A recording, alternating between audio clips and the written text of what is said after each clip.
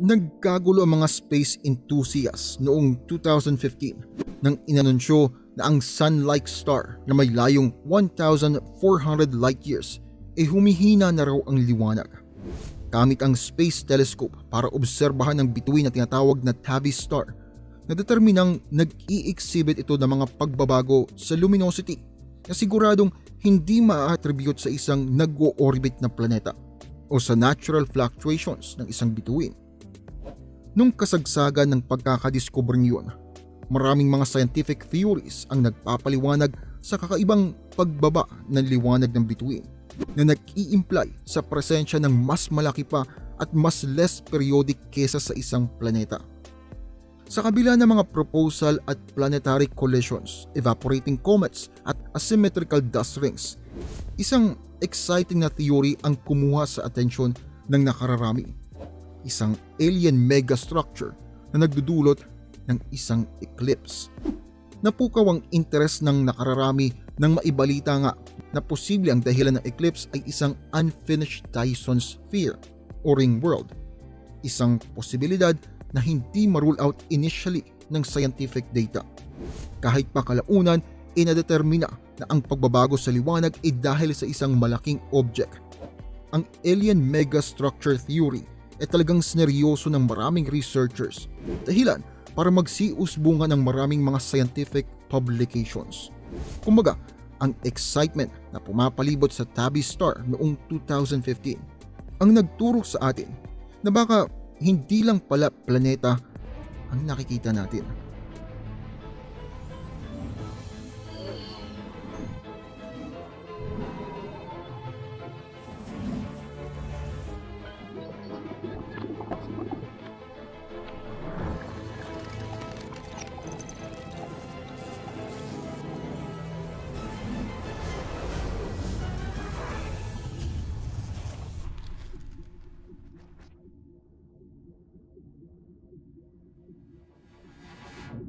Siyempre, ang Kepler Space Telescope ay nakadiskubre ng maraming bagay mula nang mailaunch ito noong 2009 hanggang sa deactivation nito nito lamang 2018. Gamit ang mga data sa mga observations ng Kepler, nadiskubre ng mga eksperto ang mga gas giant core na natanggalan ng mga atmosphere at mas dense pa sa iron, mga planeta na kasing laki lamang ng Jupiter na umiikot sa orbit ng kasing sikip ng sa Mercury at maging mga maliliit na rocky worlds na kumukha ng sa atin o yung Earth. Kahit pa marami sa mga discoveries na to ang sumubok at nag-modify sa ating historical models ng planetary formation, ilan sa mga to patuloy na umiiwas sa anumang uri ng scientific explanation. Ang poster child ng discovery na to ay ang planetary system ng Kepler-51, isang sun-like star na makikita pandang 2,600 light years mula sa ating mundo. Ang sistema ay binubuo ng tatlong ultra-low density planets na tinatawag namang super puffs na may mga masses na hindi naman nalalayo sa ating mundo pero ang radii ay katulad ng sa Jupiter. Kung i-assume ang spherical geometries, ang tatlong planeta ay may average densities na katumbas lang ng cotton candy 30 beses na less dense kaysa sa Jupiter sa 4,377 na kumpirmadong exoplanets. Walang nag exist na katulad nila. Hindi katulad ng hot Jupiters na ang gaseous radii ay bloated ng init mula sa kalapit na araw. Ang mga planeta ng Kepler-51 ay relatively distant at malamig. Binibida nito ang equilibrium temperature ng average ay nasa pagitan ng 350 hanggang 550 Kelvin. Ang atmosphere ng planeta ay parang typical na araw lang sa Tahiti pero malayo sa normal na nire-require para ma-expand sila sa mas extreme na sitwasyon. Isa pang paliwanag, iba ka ang planeta ay nasa state of formation pa lamang. Ang apparent magnitude ng kanilang eclipse ay ina-amplify ng makapal na ulap ng accreting planetary material. Although ang half-billion year old system ay relatively bata pa. Ang mga protoplanetary disk ay usually nagko-collapse na bilang planeta pagsapit ng mga 10 million years na nag imply na ang system ay dapat matagal nang tapos sa phase ng sarili nitong evolution. bawat super puff na planeta na na-identify ay napupunta sa isa sa dalawang rasyonales at walang mas tenuous kesa sa mga planeta ng Kepler-51. Although, papayagan ng statistics ang ilang erroneously low density planets na mapunta sa labas ng mga eksplanasyon na ito para sila ay maging tatlong all-in-one system eh halos siguro nang nadidisplace ang anumang tsansa ng error. Ang Kepler-51 objects ay totoo. So, ano nga ba talaga mga ito? Para madetermina ng mga astronomers ang density ng isang exoplanet, dalawang variables ang kailangan, ang mass at ang volume. Dalawang magkaibang methods ang ginagamit para ma-discern ang mga properties. Sa mass is sa pamamagitan ng radial velocity method at sa volume naman na ina-assume by radius ay nagdetermina gamit ang transit method. Sa radial velocity method, nadidiskubre ang mga exoplanets sa pamamagitan ng pag-oobserba kung papaano nag-wobble ang host star. Tapos e ia-apply ang gravitational equations para madetermina naman kung gaanong mass ang ire-require ng orbit object para mapaliwanag ang motion ng bituin. Ang radial velocity method ay robust sa pagdetermina ng existence ng exoplanet pero minsan ay unreliable naman sa pagdetermina ng true mass ng mga exoplanet dahil sa ang amplitude ng wobble ng bituin ay nakadepende pa rin sa angle kung saan tinitignan ng mga eksperto mula sa Earth ang isang sistema na madalas ay hindi alam. Sa transit method naman, ang luminosity ng bituin ay inuobserbahan sa mahabang panahon para sa periodic tips sa brightness na nag imply sa presensya ng transiting exoplanet. Sa pamamagitan ng pag-oobserba kung anong percentage ng liwanag ng bituin ang nahaharangan, isang napaka-reliable na estimate para sa size ng object na dahilan ng eclipse ang kayang ma-generate sa pag-assume ng eclipsing object ay sphere, isang radius ang ina-assign. Kung ang transisting objects ay malaki, ang mass naman nila ay pwede ring madetermina gamit ang radial velocity method. At dahil sa ang relative angle ay alam na sa kasong yun, ang mga estimates ay highly reliable naman.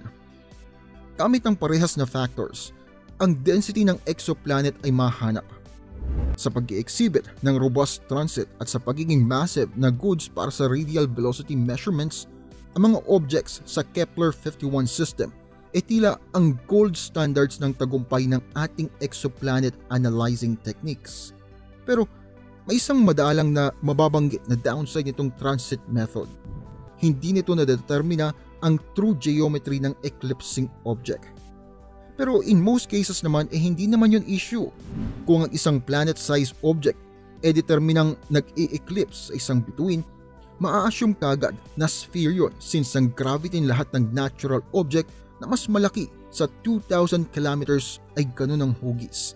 Madalas e bolstered yun ng radial velocity measurements ng bituin na nag-i-imply naman sa mass ng mga planeta na swak sa kanilang radii.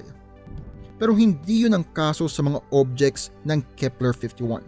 Light enough para makita na halos kamukha ng Earth pero sobrang lawak naman na parang ang kanilang shadow ay ang malalaking gas giants. Kung ang mababang density ng planeta ay hindi maipapaliwanag ng kahit anong models of planetary architecture natin, eh siguro ang data ay nagdidemand ng panibagong examination. Baka ang mga object ay hindi naman puffy spheres pala sa halip ay dense at flat para bang geometry ng isang barya. Pero kung ang malalaking objects ay naturally biased na nagiging kahugis ng isang sphere, paano mabubuo ang naglalakihang flattened objects na yun? Ang Kardashev scale ay isang hypothetical means ng pagkaklasify sa mga advanced alien species o kahit sa atin mismo mula sa angle na 0 hanggang 3 base sa kanilang energy production. Sa scale na to, ang mga Type 1 civilization ay na-harness na ang lahat ng energy resources ng kanilang planeta. Sa Type 2 naman ay ang energy ng kanilang bituin o solar system at ang Type 3 ay ang energy ng buong galaxy. Meron din akong ginawang video tungkol sa Kardashev scale so kung hindi nyo pa napapanood, check nyo na lang po sa video natin dito sa channel. Kasalukuyang nasa 0.7 na tayo sa scale na ito.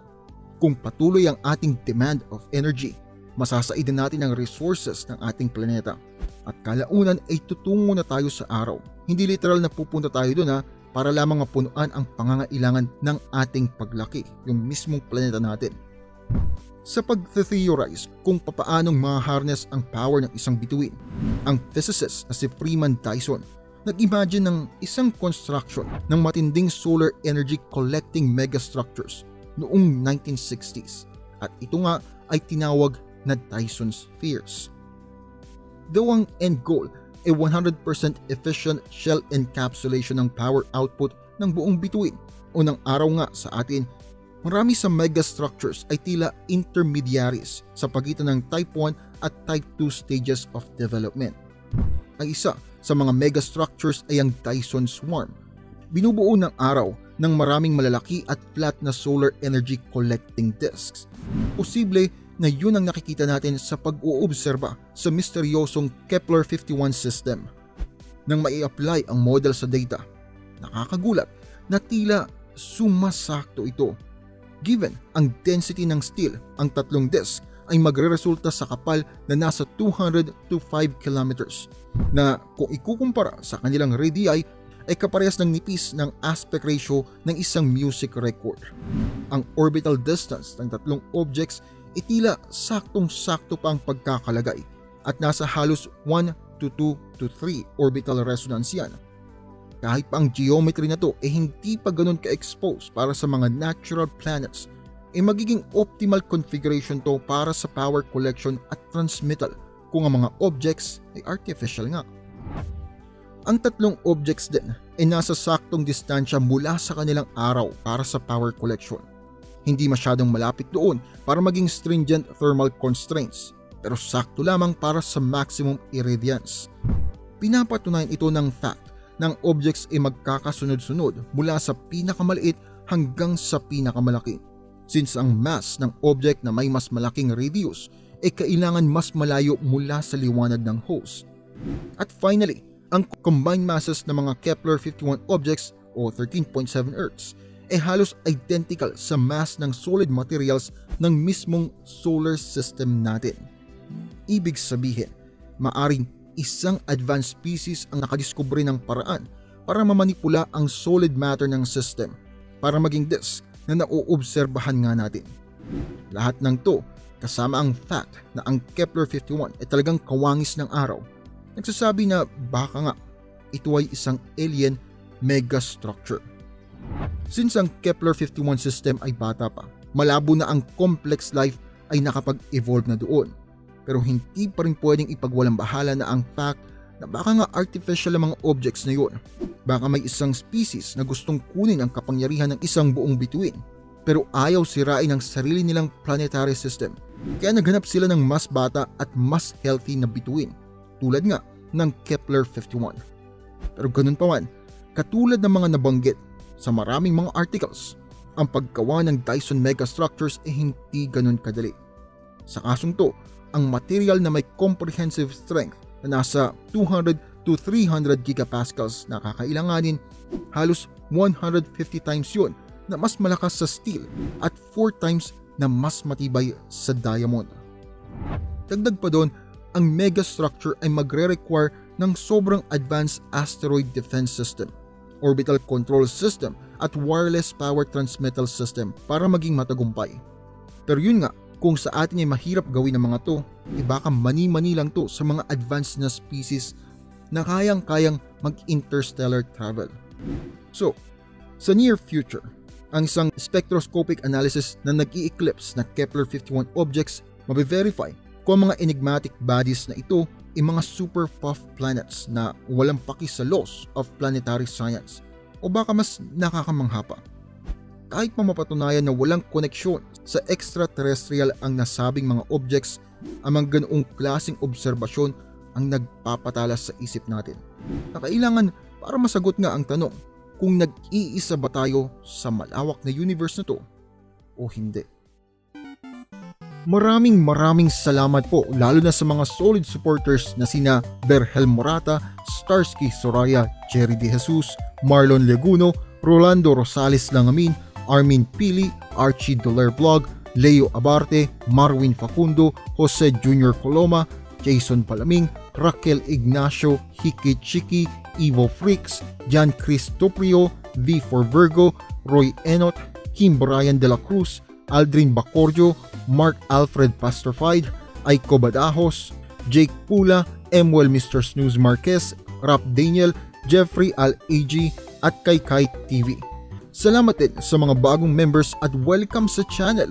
Welcome kala Jimboy Videos, Kent, Ralph Ralph, James Sarino, Nonoy Ramos TV, Edison at kay Jano Bajaro. Meron po tayong member content every Tuesday. Pakicheck na lamang po ang playlist, marami-rami na rin po ang nakalagay doon. Maraming maraming pong salamat sa inyong patuloy na pagsuporta.